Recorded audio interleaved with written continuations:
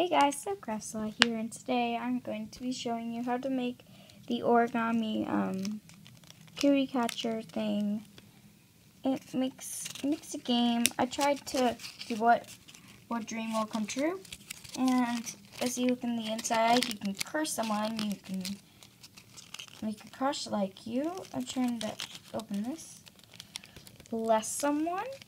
Wish for something and you will choose a number or whatever, and I will either say yes or no.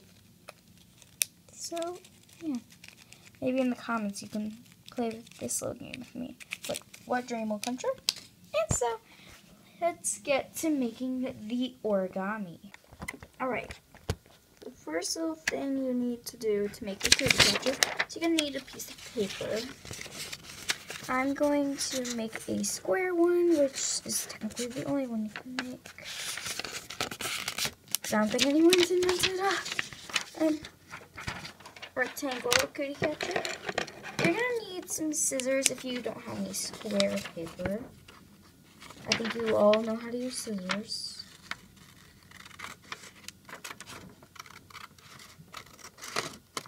If you're not allowed to use scissors, just ask them now. And as well to help with this part,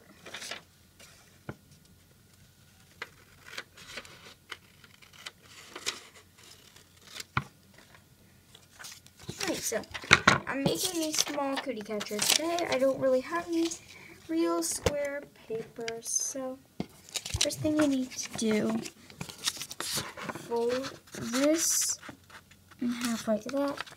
And if you have any extra paper area on this side, which I don't, I cut it perfectly, you would have to cut that off. And the next part, you unfold it so you have a little diagonal line. Then you're going to fold it in half and try to make sure these corners are right. Now remember to crease it really, really good, otherwise might not work as well. Remember, this isn't origami, so if you are not very good at origamis, this is a simple one to do. You need to fold it in half, unfold it, fold it the opposite direction, and then you should have your paper looking like that with that many creases. Next, you're going to need to fold in all the corners.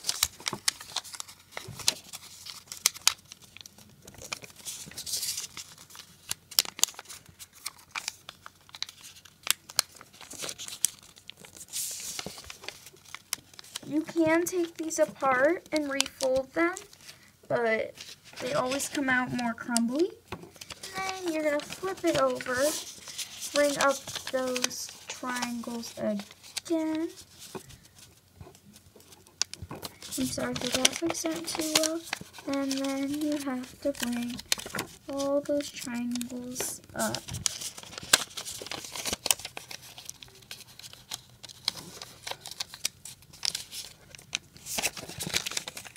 It's taking me a while to figure out how to make a cootie catcher, so I kind of just figured out today, and so I just wanted to share it. Then it should look like that. Oh goodness, that corner isn't folded in all the way, and neither is that one. Let me get that fixed right now. And that's how you do it. Right then, I'm going to flip this over. This is the confusing part. We're going to fold that corner in so it looks like that. You can see two little flaps of paper. And you're going to do that kind of like how you did the um, first folding part of the cootie catcher.